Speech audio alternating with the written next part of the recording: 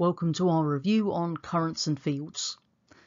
Now the first thing we need to know is that when we've got a wire and a current flows through that wire, then a magnetic field is generated around it. And the shape of that magnetic field is a series of concentric circles. And you can actually see that in the left hand side of the screen there. Now, one thing that we do need to be able to work out is the direction of that particular field generated by the current. And the way that we do that is by using our right hand as shown by the pictures in the middle. So if you actually make your thumb up, okay, so just like you're about to hitch a lift somewhere, then your thumb is pointing in the direction that the current is travelling in. And your fingers, the way they curl round, they tell you the direction the magnetic field lines travel in. So if we've got a current pointing up, then you can see that the actual magnetic field lines are going in an anti-clockwise direction. Whereas if the current is facing down, then if you have a look, those field lines are going in a clockwise direction. So just make sure you remember that if you want to work out the direction of the actual magnetic field lines around a single piece of wire, your thumb points the direction of the current and your fingers, the way they curl, they point the direction of the magnetic field lines. And remember to use your right hand for that one. If you were asked how we could show in the lab or in an experiment how to prove that a wire actually produces a magnetic field when current flows through it, then all we'd actually need to do is connect our wire into a circuit, so just a very basic one, just with a cell and a switch in there, and then place a compass under that wire. And what we'd actually find is that when you close the switch and the current's flowing, then the actual alignment of the compass is going to go along with the field lines for that actual wire. So you'll see the compass needle move away from pointing towards our magnetic north pole for the Earth towards obviously the field lines that are being created as a result of the current flowing through the wire.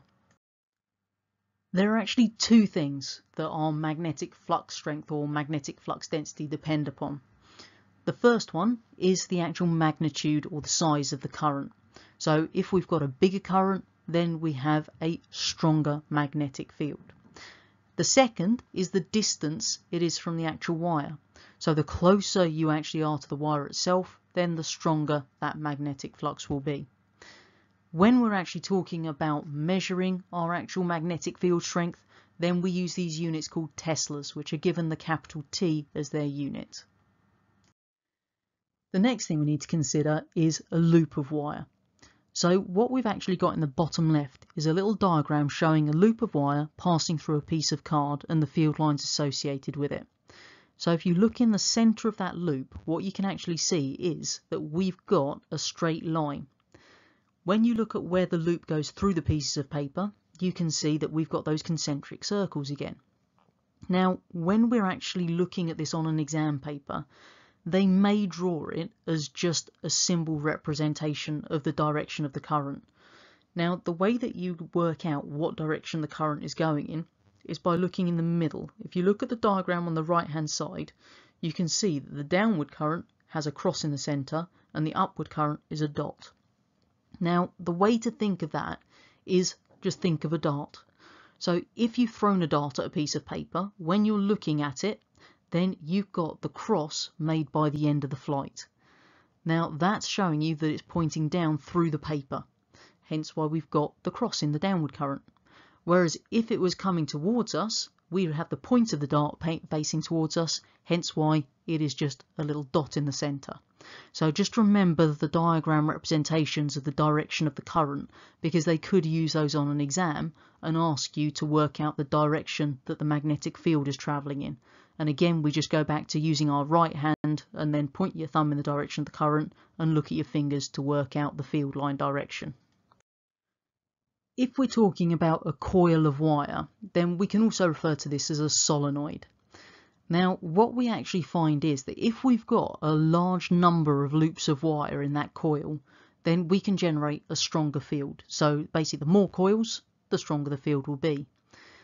If we still wanted to increase the strength of that field further, then we could actually place a magnetic material in the center of that coil. And what we actually find is by doing that, then as the current flows, it creates an induced magnet in that magnetic material, and that increases the strength of our magnetic field further. Now, what we're talking about when we've got a magnetic material placed in the center of a coil that then becomes an induced magnet as current flows through is something called an electromagnet. So basically, it's something that becomes magnetized when current flows through. And you should have looked at those back in key stage three.